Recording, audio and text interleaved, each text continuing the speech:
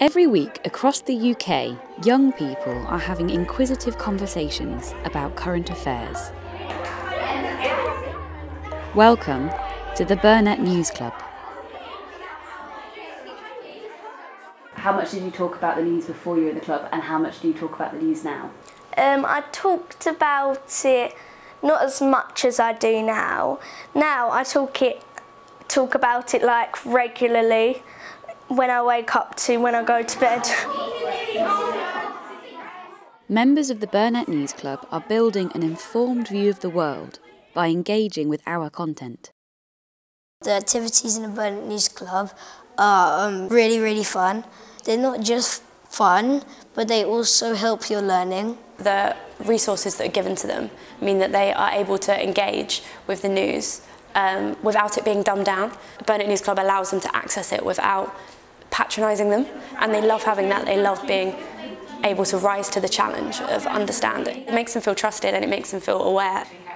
The understanding of politics and world issues and knowing how to access these issues as well, I think that's definitely improved a lot. And I think people will be really surprised to come in and listen to what the girls are talking about and, you know, particularly when they're having the discussions on their own that aren't teacher-led and what they're coming up with. Activities in the Burnet's News Club help put us in the shoes of the people that are making the decisions, um, which is quite clever because the activities help you um, think about how it affects everyone and if you had to make these decisions, what you would do and which is the right and wrong um, decision.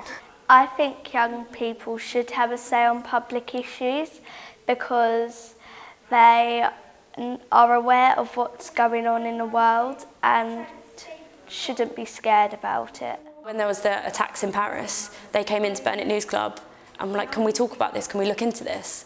and a few of them were a little bit scared and had heard stuff in the playground and it was, gave them that opportunity and that time to really talk about it and to debate it. These young people are developing critical thinking skills. The Burnet News Club helps young people to develop skills, um, both in the curriculum and as, as developing as people that will help them to access opportunities much later on in their lives and prepare them for those challenges um, that they might face outside of school. Particularly in year six, with all the curriculum pressures, you just don't really get that much time. By doing the Burnet News Club, it allows to develop those skills, develop those like that curiosity and skepticism and really analysing the world around them and it just makes them more aware of it. We use skepticism. We understand more about the world and what's going on. We can question other people's thoughts and beliefs yeah. They're learning a lot more about systems, but also becoming a lot more sceptical about where their news comes from, um, or if things you know pop up on social media, they don't just take that as oh, there's an article that I read and it must be true. Did you speak to your parents about the news before, or is this something that you've done after? Not really, because now I know more, I can have a proper discussion with them and be more sceptical. They are asking better questions about the world around them so, what do you think about the Investigating Powers Bill? Should everyone have a place to live? Surely it's a human right. How do you know we, that we can trust the government? It's just because they have power. That's a really good question. Can you expand on that, please? Brilliant. Equipped with this knowledge and these critical thinking skills, Burnet News Club members influence the world around them by communicating their ideas to others.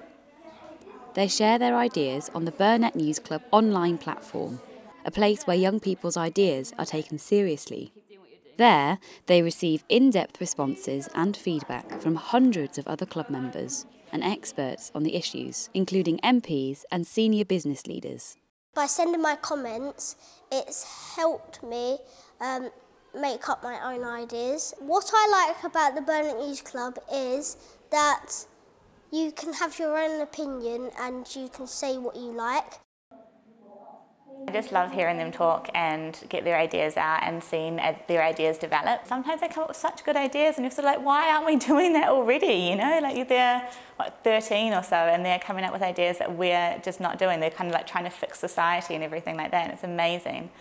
And even with people who are maybe not so comfortable with speaking, they can go on the blog and they can write their ideas down there. They don't always have a space where they're taken seriously or where people believe that their opinions are worth listening to. Um, even, you know, they love it when someone from the Economist Foundation, you know, responds to them because they feel like they've kind of made a legitimate comment and they've, someone's legitimately listened to them. I like seeing other people's viewpoints and just like looking at how people see the world differently and certain issues differently. The Burnet News Club is definitely the best thing I've done since teaching.